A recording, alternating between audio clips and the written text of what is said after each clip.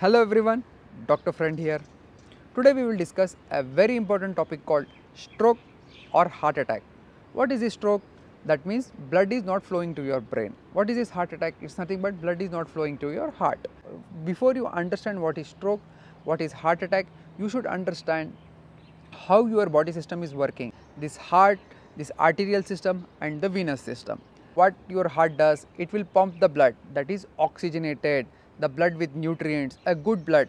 Before understanding what is stroke and uh, what is heart attack, you should understand that your entire body, your brain, your heart, your lungs, your kidneys, your arms, your skin, your legs, every organ of your body, even your kidneys, every organ of your body needs oxygenated blood for oxygen and nutrition to proper fun functioning. To distribute this pure blood, your heart will pump the blood in arteries. What are the function of arteries? These like pipelines, like, like tubular structures which will carry a oxygenated, a pure blood from the heart to your entire body. How it pushes the blood? It has a muscular layer. It has three layers. One is inner layer is called intima and middle layer is called muscular layer and outer is fibrous layer. So, these muscles will contract, the blood will push forward, so it is distributed in your body. What is the function of the veins? Once the oxygenated or pure blood has been used by these organs, this blood has to reach the heart again for purification. This is carried with the help of veins. These are these also are tubular structures. This will carry the impure blood to your heart. But if you compare artery and vein, artery is thick wall which is muscular whereas veins which has very less number of uh, muscles it is mainly fibrous layer.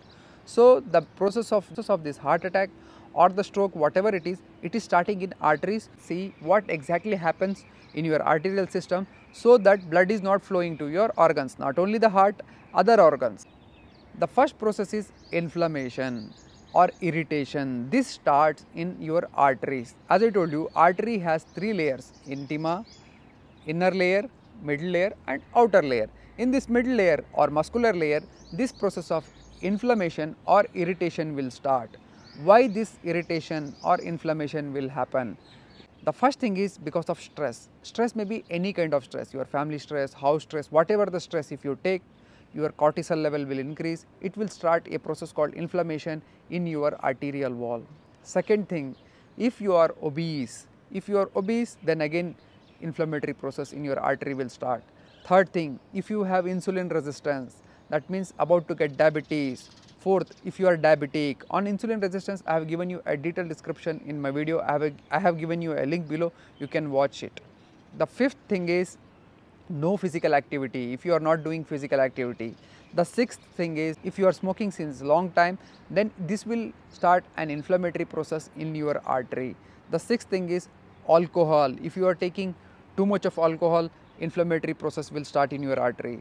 The seventh thing is junk food, especially the fried items like fried chicken, french fries, all processed or junk foods will start inflammatory process. The ninth thing is high carbohydrates or unhealthy foods, whatever the unhealthy foods you are taking, this will start a inflammatory process. Don't think that this is only happening in one or two days. This is a long process. Even sometimes it may start in your childhood when your nutrition is not good or in your adolescent when your nutritional or physical activity is not good.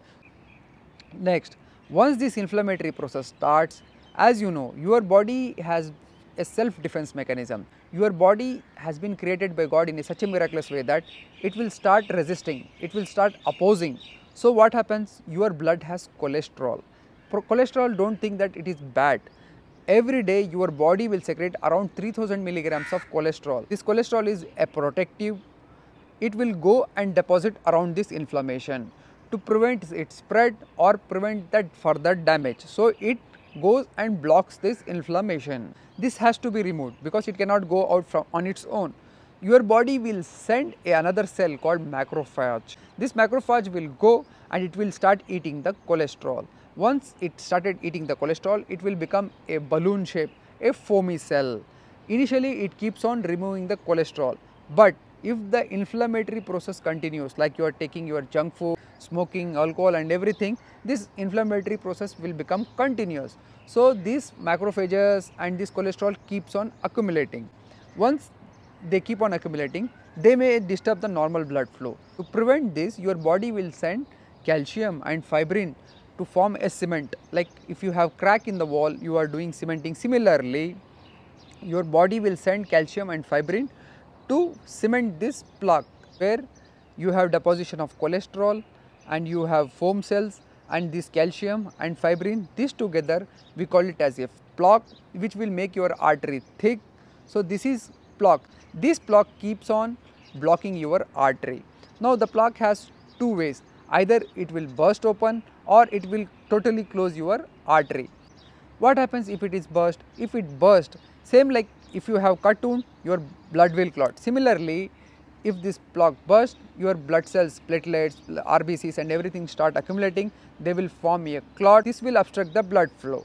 So, now you will have stroke or you may have heart attack. Thing is this plaque will keep on increasing in size it will block your artery. So, you may have stroke or you may have heart attack. So, not only stroke and heart attack, blood flow to your kidney, you will have kidney failure. If it stops blood flow to your pancreas, you may have diabetes, you may have pancreatic dysfunction. If it stops the blood flow to your uh, limbs like lower limbs or hands, your fingers and your toes and everything will keeps on necrosis. That means they keep on dying. Why? There is no blood flow. The, basically, the take home message for you is the stroke or heart attack, it's not an immediate process. It's starting from very long time.